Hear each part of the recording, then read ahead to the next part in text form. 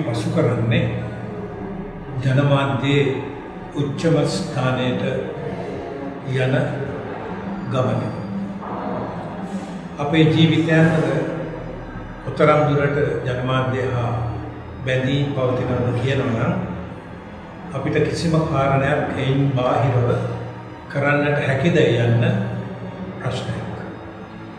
අද අපි දකිනවා මෙම ගුවන් විදුලි සේවාවන් විවිධ මට්ටමින් සිදුවෙන බව. අපි දන්නවා FM ගුවන් විදුලි, ඒ වගේම වෙබ් ගුවන් විදුලි, ඒ වගේම ඊට සමාන තවත් ගුවන් විදුලි සම්ප්‍රදායන් අද අප රටේ පවතිනවා. ජනතාවත් ඒවාට හුරු වී තම ජීවිතයට එක යොදා ගන්නවා. ඉතින් අන්න එවැනි පරිසරයක තමයි මේ මා කතා කරන්නට යන කිතුණු හඬ වෙබ් ගුවන් විදුලිය හඳුනා දෙන්නට යන්නේ. ඒත් වශයෙන්ම සෑහෙන දුර ගමනක් ඇවිත් තියෙනවා මේ ගුවන් විදුලිය වෙබ් ගුවන් විදුලිය. අද අපි ඊටමත්ම ප්‍රබල ආකාරයට එක්තරා ස්ථානගත වීමක් කර තිබෙනවා. පෙරට වඩා ප්‍රබල අයුරින් අප අපේක්ෂා කරන පණිවිඩය මේ වෙබ් ගුවන් විදුලිය හරහා විකාශය කරන්නට.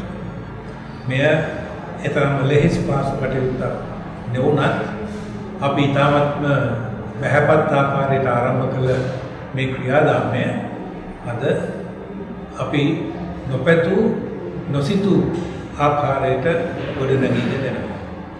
ඉතින් අතසෙන්ම ඊට හේතුව තමයි මේ සම්බන්ධව කටයුතු කරන ගරු සහෝදරතුමා සහ අකිල අප සහෝදරයන්ගේ දායකත්වය.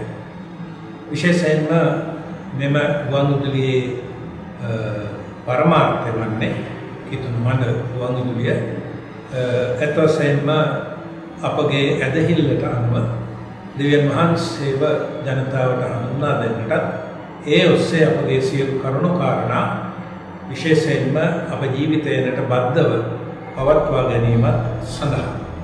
ඉතින් අන්න ඒ නිසාම මේ අරඹා ඇති ගමන ඉතාමත්ම සාර්ථක ලෙස ඉදිරියට ගෙන යන්නට ඒ අදාළ පාර්ශවවලට හැකියාව ලැබේවා කියලා ප්‍රාර්ථනා කරන අතර අද බොහෝ විට අපට ඇසෙන දැනෙන පෙනෙන ගුවන්විදුලි මාධ්‍යයන් තුළින් හරසුන් වැඩසටහන් තමයි බොහෝමයක් අපට අත්දකින්නට සිදු වී තිබෙන්නේ.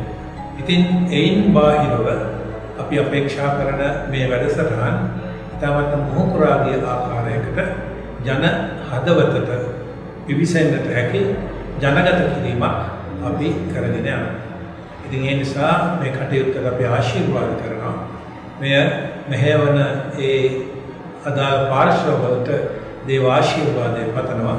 ඒ මාර්ගයෙන් අප දේව වචනය ජනහදවතේ පතිත වන ආකාරයට ඉතාමත්ම කාලෝචිතව සහ නිර්මාණශීලීව ඉදිරිපත් කරන්නට සැදී පැහැදිලි සිටින බවත් මේ අවස්ථාවේදී කියා සිටිනවා.